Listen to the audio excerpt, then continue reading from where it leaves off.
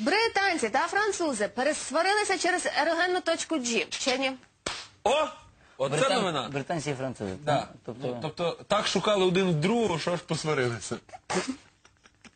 А в нас Ні. в Тернополі цирк був, коли е, сміття не вивозили дуже довго з міста.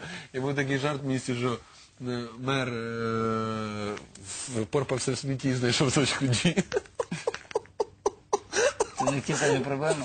Та, так само, як тут можна казати, Черновецький розгрібав сніг по Києву, знайшов точку G. Чик-чик і зупинився. Вчені Королівського коледжу Лондонського університету заявили, що за їхніми дослідженнями точка G не більше, ніж міф.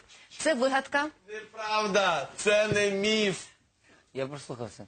А британці сказали, що вони провели наукові дослідження, Ага. і точка G це міф. Займіться сексом, а не науковими дослідженнями.